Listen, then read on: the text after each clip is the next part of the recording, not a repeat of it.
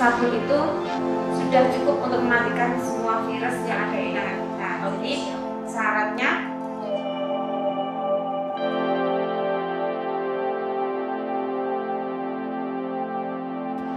Assalamualaikum warahmatullahi wabarakatuh. Kembali lagi bersama Antalia Fitri di RSNK TV. Nah, teman-teman, kita mungkin sekarang ini masih panik. Wah, takut nih ke rumah sakit.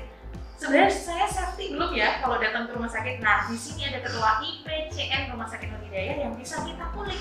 Sebenarnya kita safety belum sih kalau ke rumah sakit dengan satu masker kita harus pakai jaket atau pakai apa pun itu pelindung diri sehingga kita tidak takut lagi ke rumah sakit karena memang fase-fase darurat tidak boleh ditunda untuk ke rumah sakit. Nah, selamat siang Mbak Ratna. selamat siang. Mbak. Iya, kembali lagi di RSNH TV. Nah, dari kemarin yang kita bahas video kemarin itu ada beberapa netizen nih dari sahabat NH yang bertanya sebenarnya cukup nggak sih dengan satu masker datang ke rumah sakit? Nah, mungkin dari Mbak Rahma sebagai ketua IPCN di Rumah Sakit Hidayah bisa menjelaskan sebenarnya pasien itu datang ke rumah sakit cukup dengan apa saja sehingga pasien itu safety. Eh, ya, terima kasih Mbak Eva. Ya, masa-masa pandemi masih berbau pandemi ya ini. Eh, yang perlu kita tekankan di sini adalah pemakaian masker. Saat awal-awal dulu itu kan pemakaian masker satu lapis. Dan ada pedoman baru, regulasi terbaru lagi dari WHO, kita memakainya dua lapis. Dua dua lapis dua macam ya. Nah, lap- masker bedah sama masker dilapisi luar masker kain itu Allah cukup untuk mengenangkan partikel-partikel virus ya. Eh, Nah, Mbak Ratna, masker ini aman nggak sih? ya, kalau sesuai panduan ya, Oke. eh, panduan itu mengatakan bahwa dua masker lapis, dua lapis masker ya, dua lapis masker itu yang pertama masker bedah untuk lapisan dalam, kemudian dilapisi masker kain.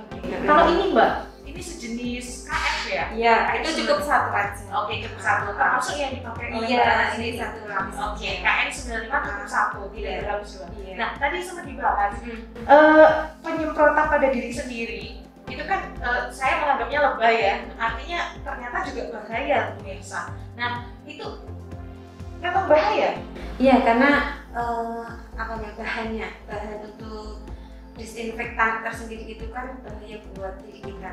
Kalau itu resiko terhidup dengan eh, terhidup paru-paru kita ya, jadi itu resikonya lebih tinggi ke belakang. Ah, ya. Oke. Ya, jadi memang dari WHO dan dari standar PPI aja sendiri itu dilarang adanya Penyemprotan. Oke. Boleh yang di- dianjurkan itu tipel. Oke. Bila- Kalau ini mbak, kalau kita kan kadang insecure ya, maksudnya kita habis dari rumah sakit, kemudian menyemprot semua tubuh dengan uh, desinfektan begitu, yang mengandung alkohol 75, 70 lah paling nggak 70 persen. Aman nggak? itu sebenarnya itu kan bahan kimia. Oke. bahan kimia ya. Bisa kita sudah selesai pulang ya pulang kerja gitu ya. Yang penting kita lepas baju. Ganti baju dengan baju, eh, baju yang bersih. Ah, jadi eh, Baju yang bersih ya, Ah, dari bersih. baju yang bersih ya sahabat Eka, bukan baju baru. bukan nanti boros Oke. ya, jadi baju bersih jadi kita makanya kita anjurkan ke semua petugas ya nanti untuk petugas kalau untuk pasien sendiri sih insya Allah aman ya nanti pulang ganti baju mandi sudah cukup Allah untuk memutus eh, keluarga lain itu kan Sudah cukup Ah, dengan seperti cukup. itu. Ah. Tidak perlu yang menyemprot semua tubuh begitu. Oke. kita. kemudian yang terpenting yaitu untuk selanjutnya cuci tangan nah sebelum kita masuk ke rumah sakit kita menyediakan di depan itu Wastafel, ada wastafel ya jadi kita setiap pasien masuk pengunjung masuk itu wajib cuci tangan nah, wajib ya wajib wajib cuci tangan itu memakai sabun. sabun karena di sebuah penelitian juga sabun itu sudah cukup untuk mematikan semua virus yang ada di tangan kita. Jadi syaratnya cuci tangan sesuai WHO ada enam langkah kan? Eh, yang sudah kita eh, lihat kemarin yang videonya itu cuci tangan enam langkah sesuai standar WHO kemudian menggunakan sabun. Nah itu insya Allah virus sudah mati. Nah kemudian masuk masuk ke rumah sakit juga kita menjaga jarak. Nah itu insya Allah juga akan menambah ya kita tidak akan tertular juga kemudian selanjutnya menghindari tempat-tempat kerumunan. Misal ada nanti juga kan di daftaran kok Banyak ada, berkerumun. gitu kita kita menjaga Menjaga, eh, menjaga jarak aja insya Allah udah cukup di situ kemudian nanti pulang pulang keluar dari rumah sakit juga wajib cuci tangan Oke. Sudah cukup ya Iya. istilahnya tidak Iya. usah berlebihan. Kita Iya. harus selalu menyemprot di mana-mana. Iya. Karena ada ya. Eh, karena untuk lingkungan itu membahayakan Oke. Sangat membahayakan dari prinsip PPI sangat membahayakan Oke. Tapi rumah sakit sudah disteril ya. Artinya setiap waktu kita mensteril Iya. setiap ruangan begitu. Eh, eh, kita istilahnya bukan steril ya Oke. karena sesuatu itu lingkungan itu nggak bisa disteril karena memang udara Bertukar eh, Oke. jadi kita mau general clean up cleaning ya kalau istilahnya di rumah sakit itu bagian cleaning service itu membersihkan semua lingkungan lingkungan dengan mengepel memakai mop itu kemudian dipel. Oke. gitu dengan disinfektan.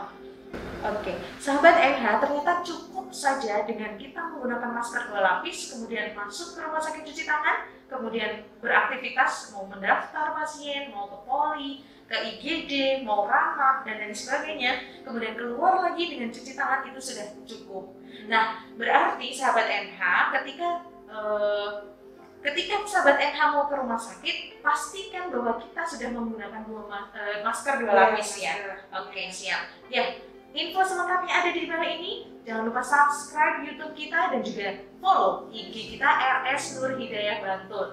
Kalau mau telepon dulu ke Rumah Sakit Nur Hidayah juga bisa di bawah ini 08500 472941. Terima kasih sekali Mbak Ratna, Iya. sangat bermanfaat. Kita jumpa lagi ya di video Iya. selanjutnya. Terima kasih. Assalamualaikum warahmatullahi wabarakatuh.